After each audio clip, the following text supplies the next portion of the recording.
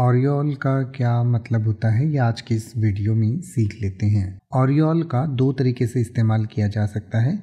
हिंदी में इसे आप किरणों का पुंज, प्रभावशाली या प्रभा मंडल कह सकते हैं।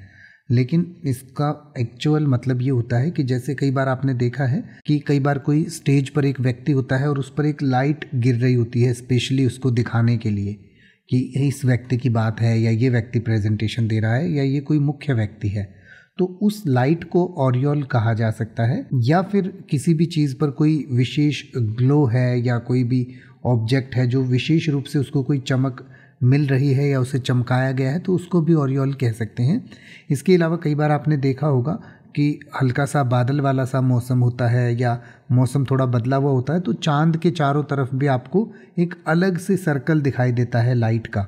तो उसको भी ओरियोल कहा जा सकता है और ऐसा सर्कल चाहे चाँद के ऊपर दिखाई देता है, किसी भी ऑब्जेक्ट के ऊपर या किसी भी आकाशीय पिंड पर दिखाई देता है तो उसको भी ओरियोल कहा जाता है। तो ओरियोल जो है, वो इस तरीके की आभा या प्रभा मंडल को कहा जाता है। इसके बारे में और डिटेल से अगर आप जानना चाहते हैं तो आपकी स्क्रीन पर दिया गया है, इसे आप पढ़ सकते हैं और इसको और बेहतर तरीके से समझ सकते हैं।